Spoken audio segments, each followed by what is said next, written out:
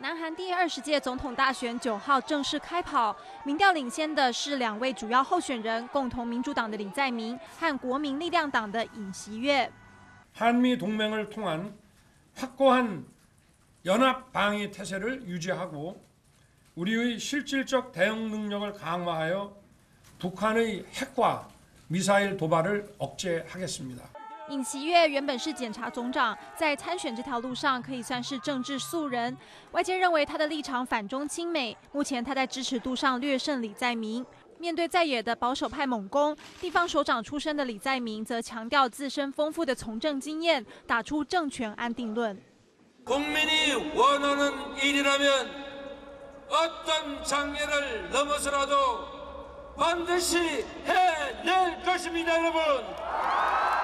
两位总统候选人支持率不相上下，不过对外政策却大不同。政党若是轮替，北韩问题以及美中外交政策可能将会大风吹。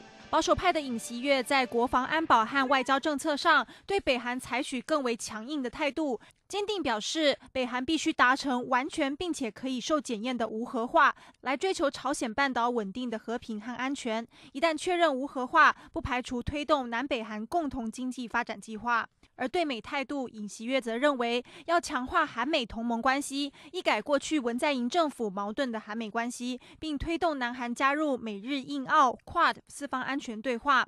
而在对中方面，尹锡悦呼吁南韩应该要逐渐降低对中国经济依赖的程度，并且想要突破与日本的关系，不再深陷过去历史伤痛，开始正视日韩问题，并有效解决。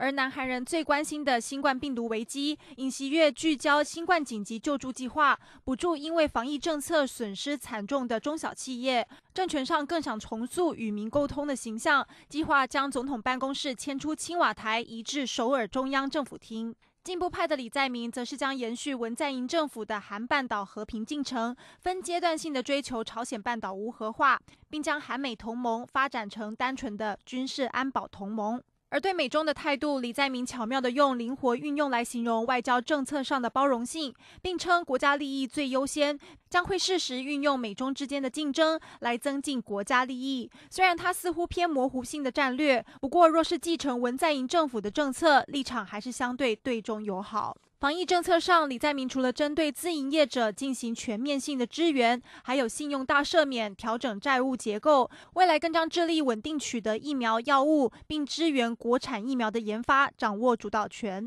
政权上，李在明赞成修宪，将总统任期改成四年一任，并且可以连任的制度。还没预估本届大选总投票率，渴望来到八成。毕竟它象征着时代交替。南韩究竟是会延续文在寅时代，还是全面改朝？换代就看这次的选举结果。欢迎新闻图文君综合报道，请订阅、按赞、分享环宇新闻的 YouTube 频道，并且要开启小铃铛，直掌握全球时事与最新趋势。